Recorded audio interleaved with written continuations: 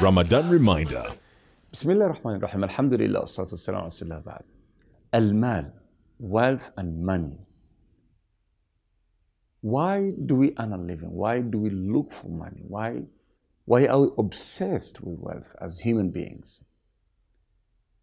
now that is normal and it's natural Allah subhanahu wa ta'ala says وإنه بحب الخير لشديد a human being loves money, loves provisions, loves wealth, accumulating. زين للناس حب الشهوات من النساء والبنين والقناطر المقنطرة. Allah beautified wealth for us. Cars, houses, money. We love it. But what is the hikmah? What is the wisdom behind money? Finance is vital in our lives. Why did Allah subhanahu wa ta'ala give us these provisions? Why did He give it to us? For, for us to follow Him, to obey Him, to use that, to use what He has provided us with to obey Him, to pray to Him, to share with others, to give out zakah. That's why Prophet Muhammad says, نعم المال الصالح للعبد الصالح a good wealth good provisions good finance good money is for للعبد الصالح for a good servant of Allah subhanahu wa ta'ala so the hikmah why Allah subhanahu wa ta'ala provided you because you are weak as a human being Our soul is weak. We ourselves, we are weak. But Allah provides us with wealth in order to navigate through life, in the right channels of life, share with our loved ones, share with our neighbors, share with humanity. That is the hikmah, the wisdom. Now, what is the Mahiyal alaqa? What is the relationship between the soul and wealth and money? Allah subhanahu wa ta'ala says, كلا إن الإنسان ليطغى أن رآه استغنى. Says indeed, a human being exceeds all boundaries ليطغى أن رآه استغنى when he sees that he is self sufficient. When you have money and you can buy whatever you want and you can exploit however much you want, most of the time what happens is human beings ex- human beings they exceed the boundaries they exceed the boundaries of allah so as muslims we have boundaries. Tilka hududullah. Fala ta'taduha. The boundaries of Allah subhanahu wa ta'ala in life do not exceed these boundaries.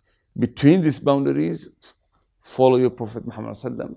Between these boundaries, obey Allah subhanahu wa ta'ala. Now, when we find ourselves self sufficient, when we find we have money, we exceed boundaries. We do al fahisha sometimes human being, when he sees that, when the soul sees it has everything, it exceeds all boundaries. Allah says in Surah Al-Kahf, وَاضْرِبْ لَهُمْ مَثَلًا رَجُلَيْنِ جعلنا لأحدهما جنتين من أعناب وحفظناهما بنخل وجعلنا بينهما زرعا He gives an example of two men. Of one, Allah subhanahu wa ta'ala gave him all provisions. He gave him two gardens of grapevines and everything. And what did he do? He boasted to his friend and said, أنا أكثر منك مالا وولدا. I am better than you. I have more wealth and more manpower, more children. The answer of his friend was very important. And this surah, we read it every Friday to remind us on how the soul should react to wealth, should react to money. ولولا إذ دخلت جنتك قلت ما شاء الله. He said, what if, if you, you could enter your garden and when entering your garden you say, MashaAllah, all this is from the will of Allah subhanahu wa ta'ala. La quwwata illa billah. No strength, no ability except that it is from Allah subhanahu wa ta'ala. إن ترني أنا أقل منك مالا وولدا. If you see me that I have less wealth, less children, Allah subhanahu wa ta'ala is the one who gives or who grants children, who grants wealth. Now when we understand ikhwati fillah, that whatever we have accumulated, we have worked for, the wealth we have, the money we have, is from Allah subhanahu wa ta'ala, then our soul understands that and it stays humble.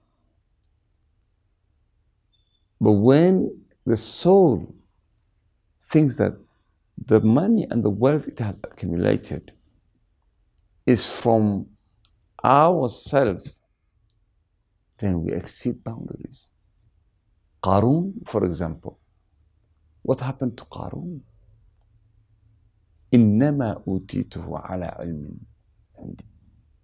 I was given this because of my knowledge, because of my ability, because I strived hard. Allah reminds in the Quran that money and wealth is for you to go through this life. Use it as a tool in this life to akhirah. It's your tool to akhirah. تلك الدار الآخرة نجعلها للذين لا يريدون علوا في الأرض ولا فسادا Allah subhanahu wa ta'ala also says وابتغ فيما آتاك الله الدار الآخرة وابتغ فيما آتاك الله look for for what Allah use what Allah subhanahu wa ta'ala has given you to look for akhirah الدار الآخرة use it as a tool to reach to Allah subhanahu wa ta'ala don't let money exploit your soul. Stay humble. Don't change. Yesterday you were a good person without wealth, without money. Stay a good person. Let your soul not change because of wealth. You don't exceed the boundaries of Allah subhanahu wa ta'ala.